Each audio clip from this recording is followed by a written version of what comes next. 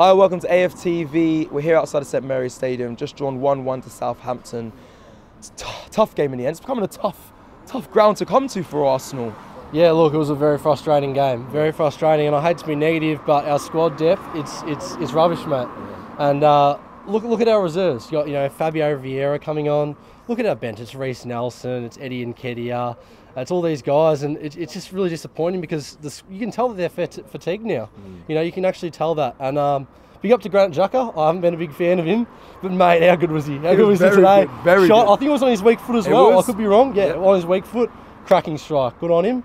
Um, I'm just a bit disappointed with his selection. I actually would have gone with Kieran Tierney. Wow. Um, if I'm Kieran Tierney, I want to ask you this actually. Would you be? Would you want to stay at the club because he's getting 15 minutes a game? I think he's a, he's a genuine starter every week. What do you I, reckon? I hear that. Listen, I hear that. But obviously, you're at a club that's currently top of the top of the table, and, and a lot of fans still love Kieran Tierney. You clearly a big Yeah, fan yeah. of him as well. So there's definitely a future here for Kieran Tierney. He's a vital asset to this Arsenal side. You speak about you speak about squad depth.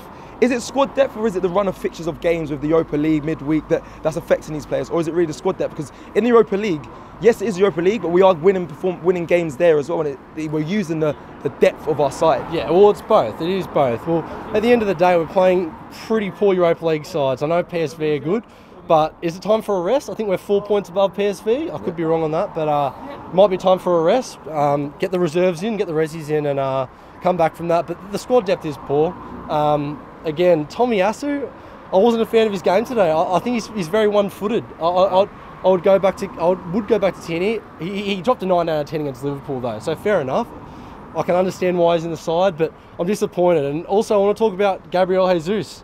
Yeah. Um, a lot of fans, if that was uh, Aubameyang, geez, that would have been mad. I, I don't know how many minutes it is without without a goal. I think it's five or six games without a goal. Maybe we're, we're talking maybe four, 400, 450 minutes here. Yeah. You know, it's been a long time since he's kicked one. So, mate, I want to see him get back get back to his uh, scoring ways. You know, mhm, it's disappointing. But the thing is, we've only got Eddie Nketiah as the backup, and I'd like to see us go into January and sign a striker Wow. and get a backup striker. You know, maybe not a first team, Yep. just something else. You know, Yeah. yeah. Were we were we were we unlucky today, or do you think Southampton Yeah. were really good? Because a lot of people they've gone to the ref.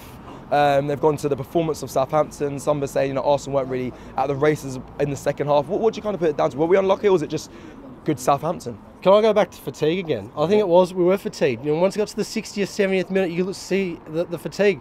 Thomas Partey, I think he had a good first half, but his second half, was, mate, it was deplorable. He kept turning the ball over. The midfield, it, it was lacking, and um, I, I can tell that the boys were fatigued. But then again, we are going to drop points, and what are we? Uh, Look at it, we're still top of the league.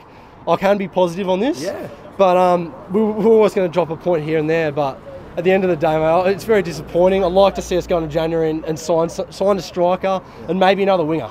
Thank you. Yeah. Thank you very much. Good on bro. ya. That was Good on lovely. Thank you, Good on buddy. mate. Shop for AFTV merch at shop.aftv.co.uk. Subscribe to us on YouTube. Follow us on Instagram, Facebook, Twitter, TikTok, Snapchat, and Twitch. We've got content for every platform, so check it out.